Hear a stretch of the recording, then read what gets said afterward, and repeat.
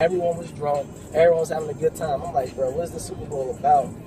My grandma came and stumbled in my room. Hey, come watch the halftime show. Nah, grandma, I'm about to go to sleep. Don't y'all need to be going to sleep? Like, y'all got work in the morning. Like, man, come watch the halftime show. Your auntie and your uncle asking about you. So I went downstairs, watched the halftime show with them. First off, Justin Timberlake came out, started doing his thing. Then the Who came out, they started doing their thing because they had their little rebirth for CSI theme song.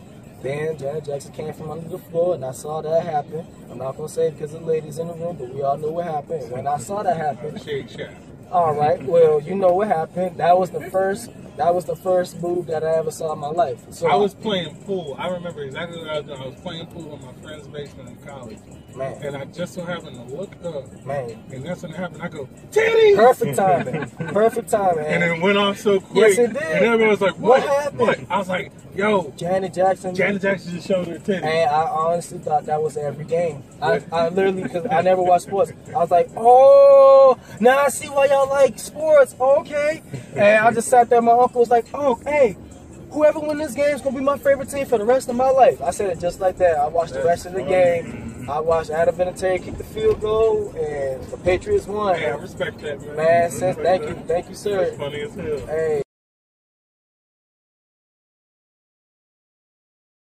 You mentioned Janet because my wife will say right now before I get it out, probably, but Janet is the one woman for me You my entire life. you I've it all? loved- I've loved Janet. I basically grew up with her. We, we, did. You know, I grew up with her. I watched her as a little kid on those Good times? Yeah, good Yep. times, and you know, as, as an adult, it's like That is true though. You really did like you're probably like one age where to be honest, like y'all grew up at the same time, you know. I'm a, I'm a little bit older. A little I'm bit sure. older? I'm sure. I'm, I'm 55, so I'm. Like Oh shit, she's like in her fifties.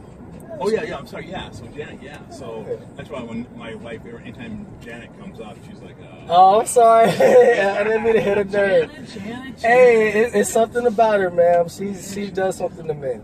Um, I actually, my sister was her first scary movie, Okay, then. and um, for her birthday, I ended up getting her a Chucky doll. and I hid it in her closet. Uh, hey, how She kept, go, she kept going through my closet and stealing all my clothes. Yeah. So that was my way of teaching her a lesson. well, I bet you got her good. Honestly, like make the. I, I try to be as not awkward and.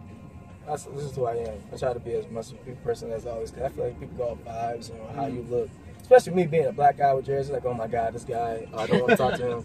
My old profile used to say, "Yes, I'm black. Yes, I have dreads. Yes, I'm a Patriot fan, but we can all get along." And now it's just like, hey, if you want to start a conversation, let's do it. yeah.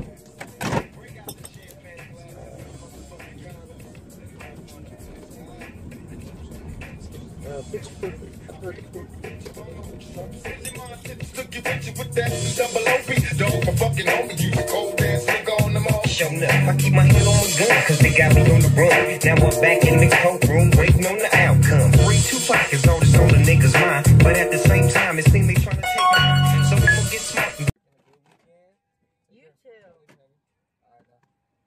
Have a good night. You too, you too.